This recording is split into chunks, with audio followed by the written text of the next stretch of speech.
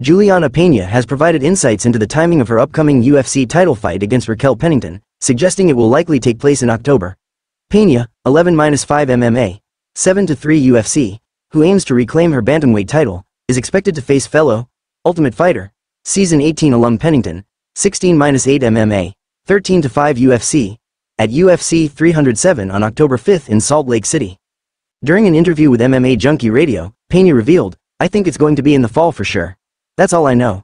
I think maybe they were looking towards October.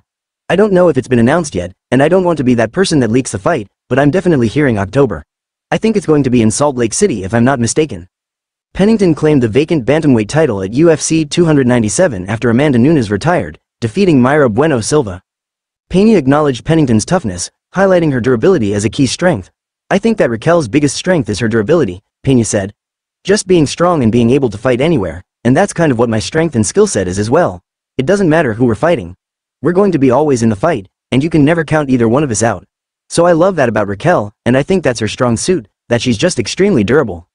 Peña has not competed since losing her bantamweight title to Nunes at UFC 277 in July 2022. A trilogy bout between Peña and Nunes was scheduled for UFC 289, but Peña had to withdraw due to broken ribs. Nunes instead fought Irene Aldana and subsequently retired after her victory. Peña, who was present at Nunes' retirement, faced criticism for booing during the event. She explained her actions, expressing her belief that Nunes is not truly done with fighting. I was booing, and I had every right to boo because I know that she's not done, Peña said.